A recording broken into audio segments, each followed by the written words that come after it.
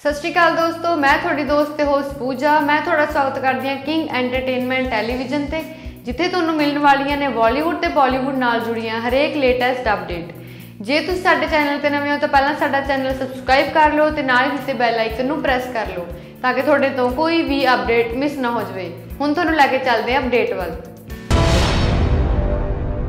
ਇਹ ਅਪਡੇਟ ਸੰਦੀ ਕਿ ਪੰਜਾਬੀ ਸਿੰਗਰ ਗੁਰ ਸਿੱਧੂ ਵੱਲੋਂ, ਜੋ ਆਪਣਾ ਨਵਾਂ Song ਲੈ ਕੇ ਆ ਰਹੇ ਨੇ ਜਿਸ ਦਾ ਟਾਈਟਲ ਹੈ ਸੌ ਪੁੱਤ ਜੇ ਆਪਾਂ ਕ੍ਰੈਡਿਟਸ ਦੀ ਗੱਲ ਕਰੀਏ ਤਾਂ ਗੁਰ ਸਿੱਧੂ ਦੇ ਨਾਲ ਨਾਲ ਸਾਨੂੰ ਗੁਰਲੇਜ ਅਖਤਰ ਗਾਉਂਦੇ ਨਜ਼ਰ ਆਉਣਗੇ ਇਸ Song ਨੂੰ ਲਿਰਿਕਸ ਦਿੱਤੇ ਗਏ ਨੇ ਜੱਸਾ ਢਿੱਲੋਂ ਵੱਲੋਂ 뮤직 ਦਿੱਤਾ ਗਿਆ ਹੈ ਗੁਰ ਸਿੱਧੂ 뮤직 ਤੇ ਵੀਡੀਓ ਤਿਆਰ ਕੀਤੀ ਗਈ ਹੈ ਪੁੰਨੂ ਘਰਚਾ ਵੱਲੋਂ ਤੁਹਾਨੂੰ ਦੱਸ ਦਈਏ ਕਿ ਬਹੁਤ ਜਲਦੀ ਇਹ Song 17 ਮਾਰਚ 2021 ਨੂੰ ਸਪੀ ਰੈਕੋਰਡਸ ਦੇ ਲੇਬਲ ਅੰਡਰ ਸੁਣਨ ਨੂੰ ਮਿਲ ਜਾਵੇਗਾ ਸੋ ਕਿਵੇਂ ਲੱਗੀ ਤੁਹਾਨੂੰ ਸਾਡੀ ਅੱਜ ਦੀ ਅਪਡੇਟ ਸਾਨੂੰ ਲਾਈਕ ਕਮੈਂਟ ਐਂਡ ਸ਼ੇਅਰ ਕਰਕੇ ਜਰੂਰ ਦੱਸੋ। ਤੇ ਨਾਲ ਦੀ ਨਾਲ ਸਾਡਾ ਚੈਨਲ ਸਬਸਕ੍ਰਾਈਬ ਕਰ ਲਓ ਤਾਂ ਕਿ ਤੁਹਾਡੇ ਤੋਂ ਕੋਈ ਵੀ ਅਪਡੇਟ ਮਿਸ ਨਾ ਹੋ ਜਾਵੇ। Thanks for watching and keep sharing